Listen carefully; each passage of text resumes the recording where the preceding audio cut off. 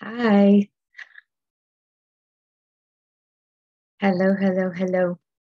Um, thanks so much for all of the comments from from the last um, video that we did on the star seed and uh, hopefully you got a chance to play around with the star seed energy. Uh, let me know if you have any questions around that. Uh, thanks for voting in our poll that's pinned at the top of the announcements, just asking for this topic. Today we have um, the dreamland. And uh, just a reminder that all of these concepts, all of these archetypes and elements of living come from my experiences, come from, you know, literature and movies, uh, and also from most importantly, they, a lot of downloads and information about them, especially because they're different than a lot of what we've been told in movies and in literature in our families and cultures. Um, from my experiences with clients who have received the living and dying body process I created. And uh, we just finished our last class. Thank you, everyone that was in the class. So many doors that opened in that class. And uh, we have some updates on all of that that I'll do in a different video. Um, today with the Dreamland, uh, I love that many of you already said that you've been getting messages in dreams for a while, or you've had different experiences with dreams. So, dreamland is a bunch of different things, just like any land, any world. It's not any one thing. um, you, we have many aspects of it that we can that we can receive from. We can play with it. The idea of knowing about the elements of living and the archetypes of living and dying is so that we can actually use our awareness of this, use these energies to create phenomenal lives, use this as a tool so that we can have a lot more ease, a lot more clarity as to what's going to work for us, what's not, what's possible with other people or other spaces, places, and what is not really possible. And so we don't force, we don't use our energy just in wasting our time using our energy for, uh, with a certain person, with a certain place or, or a certain consideration without um, knowing what it's actually going to create. So it makes it so that we actually get to be a lot more elegant with our time and our energy. We get to be a lot more um, judicious and picky, but in a conscious way um, about like what we're actually going to create or not, what who we choose to connect with or not as well. So um, you know some of you mentioned in your comments that that you've had nightmares and and and that that's been a struggle or that you've been ha- had this prophetic gift that has shown up in your dreams that you would know you'd get a message about something or someone before it happened.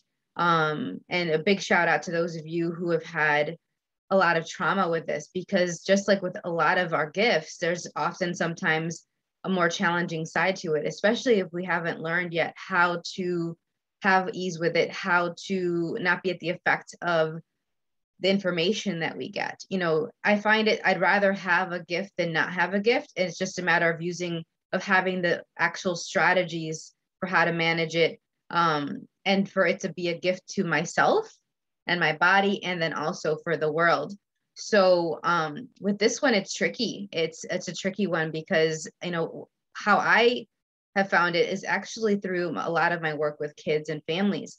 The kids that i've worked with have taught me a lot about what can really be possible with dreamland. They're willing to let go of so many different of the fixed points of views about it.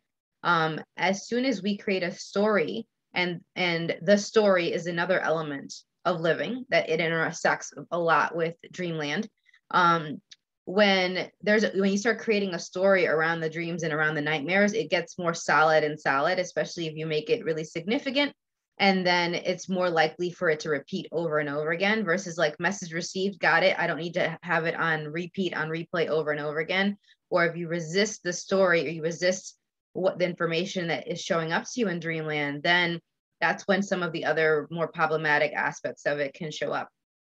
So rewind a little bit. So dreamland is um, not just when you're asleep. Let's start with that. A lot of people think that you have to be asleep or unconscious to actually access this energy and access this. It's a platform really for creation, for connection, and for um, receiving. And so what i have learned from my own personal experiences and from working with kids that are really really gifted that they're prodigies in how to use dreamland to their benefit is that if you actually acknowledge the messages you receive and you actually ask questions afterwards as to what to do with that information or not it usually doesn't go and repeat and it usually doesn't create a, like a trauma story a trauma response in your body. Your body is waiting for you to let it know what to do with that information or not. And we're not told this you know we're not told we're not educated on how to do this. Um, and it was so great. Here i am showing up as a as a speech language pathologist and learning behavioral therapist with these kids and i absolutely got taught. I got schooled y'all and it was and these kids have been such a gift with this. Um so you know for a lot of the kiddos they would they would tell me yep i dreamed it and i'm going to create it. Now i'm going to do it. And i'm like okay cool. And it was just this level of like they would use dreamland and this aspects of their waking or their sleeping hours to almost like vision boards or storyboards that they would be like okay this is what i'd like my life to be like. This is what i'd like to have. This is what i'd like to create. Okay cool. And then they'd wake up quote unquote wake up and institute it in the world and like or ask for it. They would just be like I, i'd like this. And then it would show up and it would reinforce for them their agency that they were the creators of their lives. That they that their ask and then verbalizing and declaring this is what i would like was really powerful. And so that's one of the things that is possible with dreamland that i am super super grateful for the kids that i've worked with that they've brought that awareness in. And then if you actually use all of this information while you're doing verbal clearings, especially of like the living and dying body process, this also shows up a lot faster and easier. Um, another piece with the dreamland, like, is receiving messages not from your, not just from your own body and your own awareness, but also from past, present, and future, from the disembodied. Um, my grandfather is probably the, my most frequent visitor in dreamland. Uh, some of you have heard me say in other classes and calls I didn't really get to see or talk with him, my maternal grandfather, as much when he was alive. But after he died, after his body died, man, has he been, he visits me in my dreams. He tells me different messages. He, we connect. We've had more conversations, I feel like, after he's passed away than we ever did before that. Um, including one time when he, when he told me a month ahead that my grandmother was going to be in the hospital around my birthday. And this was a couple years ago. This was like 2016, 2017. And yeah, like right before I moved here to Savannah. And um, he was like, So, and don't tell your mom yet. You'll know when to tell her, but just so you know, your grandmother might join me at that time. And it, and, and that's exactly what happened. And I just said, Okay, anything else? Because I was like half awake, half asleep, which is also kind of fun.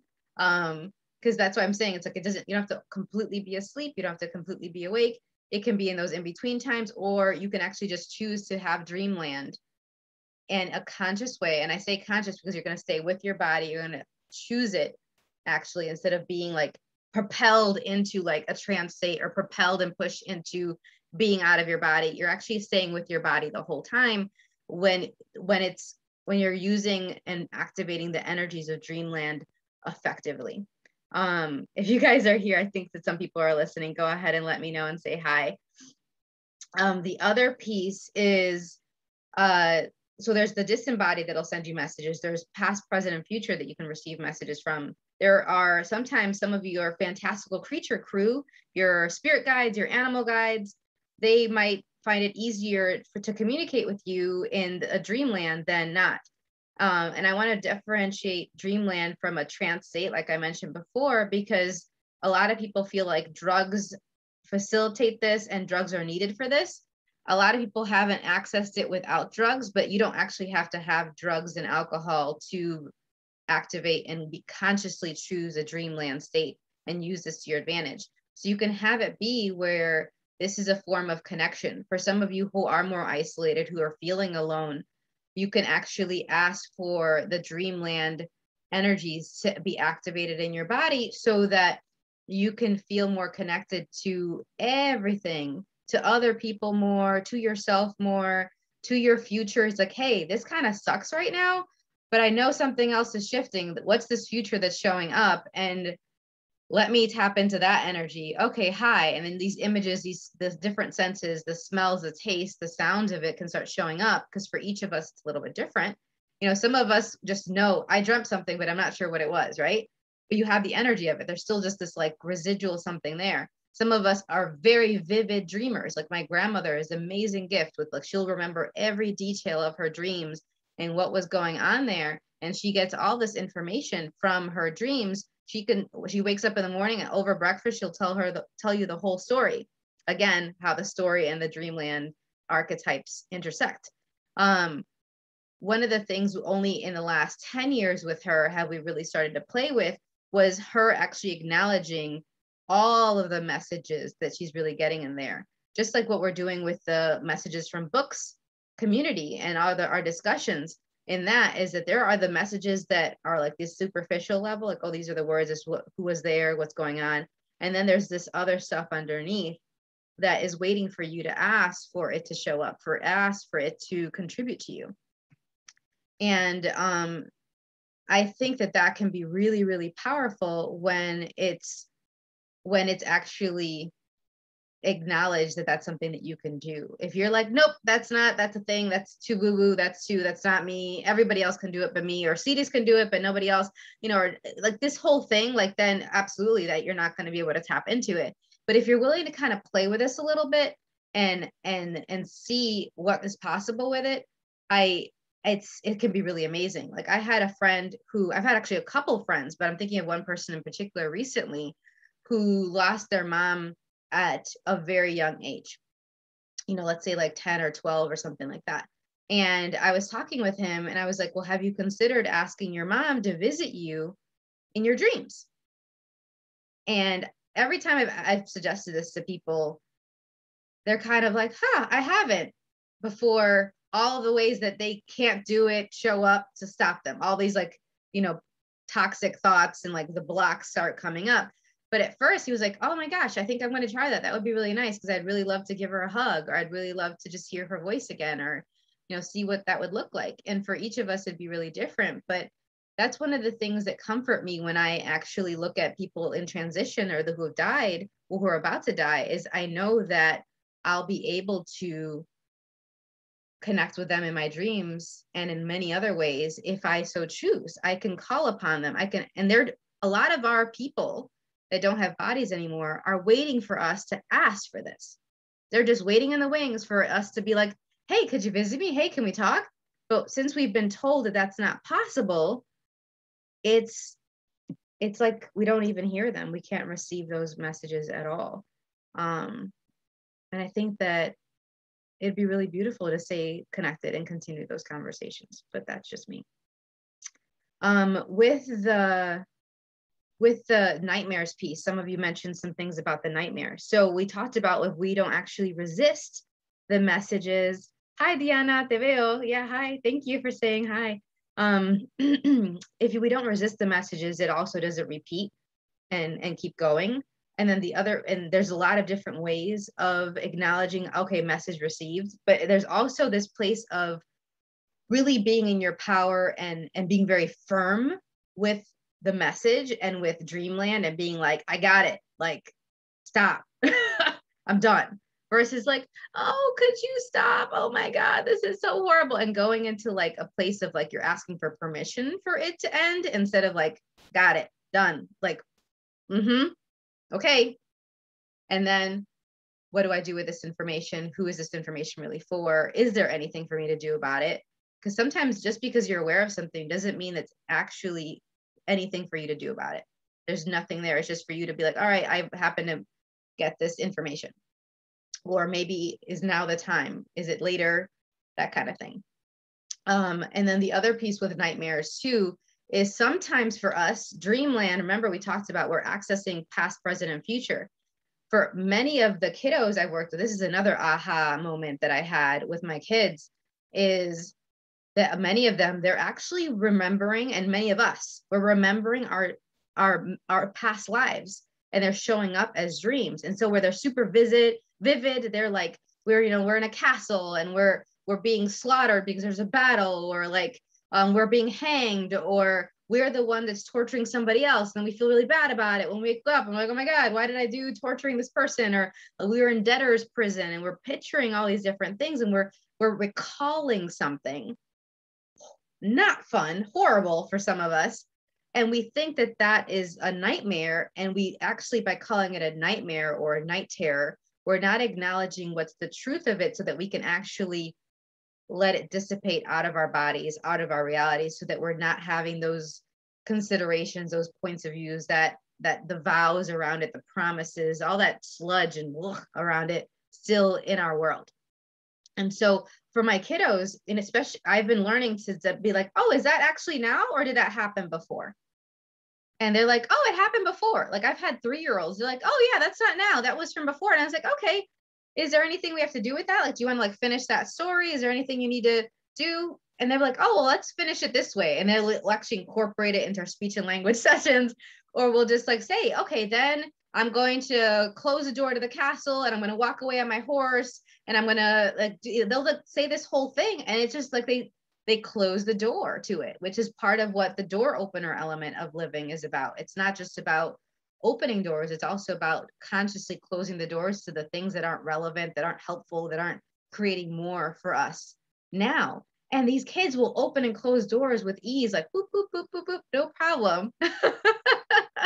it's super, super cool. And so if you have grandkids, if you have young kids, or if you have issues with sleep, and you're having all these things go in your head, some of these questions are things for you to play around with that I invite you to play with so you can have more re- restful, rejuvenating sleep so that when you wake up, you feel more at ease. And it's interesting because in preparation for this call today, man, did I not get great sleep because it wasn't my stuff. It was everyone else's messages, everyone else's information around dreamland that was showing up. All the stuff that you all haven't acknowledged yet and recognized and been like, oh, this is what's true for me about it was banging up against my world while I was trying to sleep. And I was like, whoa, this is a lot of information. Um, I'm good now. Now I've gotten a lot more energy from talking about it, from acknowledging it, from flowing energy and doing all these other tools. But I was like, wow, I wonder what's going to show up with this video. because uh, a lot of us are recalling stuff from other realms and other dimensions and realities and other lives that if we just acknowledge the the immensity of how much information we're getting and that it's actually we can close the doors to them and not have it be something that is messing with us now we could have a lot more ease and that's what i would wish for all of us for us to use this as a way to create better lives greater lives more fun um, so one of the things that I would love for all of us to play around with with this, if you'd like, is to do what I was saying. If that if that sleep stuff and the dream stuff is relevant to you, where you're actually it's actually affecting the quality of your sleep, ask the questions I've mentioned. But for all of us, I'd love for us to actually use Dreamland as like a blank canvas to envision and to and to call up the energies. Because for some of us, it's not really about the pictures and the images. It's about having the energy show up and for us to know that it's here. Like, I'd like the energy of this to be my life. And we can use that in Dreamland and start playing around with it almost like a virtual reality. And then when we wake up, the first thing I ask is, okay, so what do I need to be or do to create this? What do I need to be or do to institute this in the world, to have this be more present here? And then I take action and I do what is required all day, every day with breaks, with pauses, because sometimes that's also what's required a rest, you know, to have what you're asking for show up with ease, to not force it into being and to becoming, but to actually know the rhythm and when it's time, but not, but, but be willing to do what it takes. And for some of us, we love the dreamland so much that we get stuck in there in the visions and the in the ideas, ah, in the hopes, in all of this fantasy and we don't actually take conscious action. And then that's when I come in and I'm like, hey, let me kick your butt a little bit. Let's go. Let's do this. If that's something that you'd like to actually have versus just live, you know, pondering about it and being in your head about it. Okay. So let me know if you have any questions about this. Uh, love talking about Dreamland, love playing with Dreamland. Um, and, and I wonder how Dreamland plays out with you. What are the other elements of living that are a factor that kind of flirt and play with dreamland when you are receiving these messages when you are connecting with yourself and with others in dreamland when you are creating with this element of living and uh, post it below i'd love to continue the conversation and then we're going to have another video next week um, about one of the other elements of living. And so make sure to vote in our poll as to which is the next one you would like okay? Bye for now. Thank you